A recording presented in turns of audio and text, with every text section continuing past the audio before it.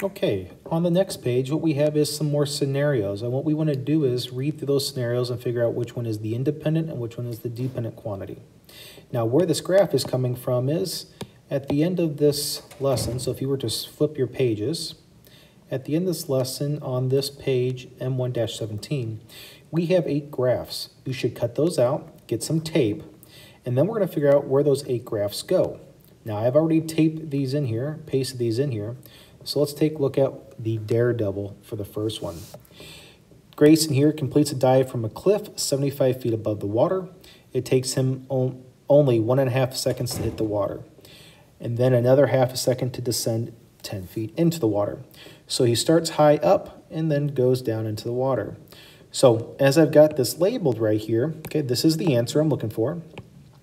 The independent quantity is going to be my time in seconds, and the dependent quantity is going to be your y-axis, which is your height above the water. So when time starts, he is way up here at 75 feet. And as he jumps off the cliff and time is going, he's falling down, hits the water, and then he goes underneath the water right there as they show. Okay, so that's what we're going to do is match up these scenarios, identify the independent and dependent, and then match up at the graph. Something fishy. Candace, as you read through that, I'm just going to kind of go through the quick parts of it. Candace is emptying out an aquariums in order to clean it. So she is pumping out the water in order to get an empty tank. The graph that matches this scenario is you're starting off with a lot of water and it's being emptied at a constant rate of 10 gallons per minute. So because that time, as time goes by, that is my independent variable, that is my time in minutes. The, t, the dependent variable that is the water of uh, in gallons that is being emptied out. And it's that nice constant line as it empties out. On the smartphone plan, okay, your cousin is going to loan you some money because you cannot afford a phone, but he's going to charge you interest, a dollar a week, sorry, a dollar initially, and then it doubles each week, as it says right here. Now this one is going to get a curve, as I show right here.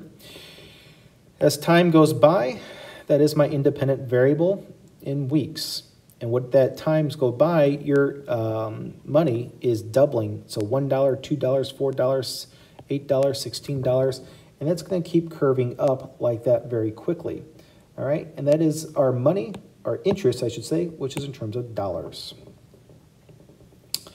For the slopes, okay, you're traveling up a ski lift here. You're riding on a ski lift up the mountain.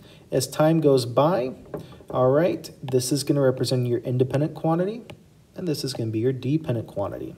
So as time goes by, you're going up the slope. It breaks, as they say in the pro in the in the uh, paragraph. You sit for uh, 10 minutes. You're not moving at all, so you're not moving up anymore.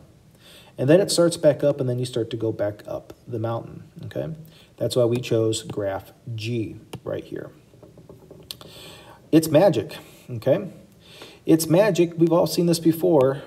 All right? We got a 20 foot piece of rope. The magician cuts it in half. So we get two pieces that are 10 and 10. Then he takes a piece of rope and cuts that in half again. So we go from 10 to 5 and 5. He cuts it in half again. 5 divided by 2, 2 and a half, 2 and a half. He keeps doing that until there's no more pieces left. So what's happening here? He is making cuts and that length of the rope is getting shorter. It's actually getting cutting half each time. That is the dependent. So we get this curve going down, all right? And uh, that is the graph that represents this scenario. Baton twirling, okay? In the baton twirling, we toss a baton up into the air, and as time goes by, it says uh, Jill has an opportunity to do two, two twirl, twirls in two seconds. And then the baton comes down and she catches it right there. So graph F is modeling that. The time, as time goes by, the baton goes up in the air. That is why we call it the height, which is in terms of feet. Cold weather. If it's really cold out, negative 20 degrees Fahrenheit, there is nobody out on these ski slopes, okay? So the temperature is going to influence how many guests are out there. So as the temperature starts to warm up, okay, the number of guests starts to increase. We hit the sweet spot in the temperature where it really increases with the number of guests.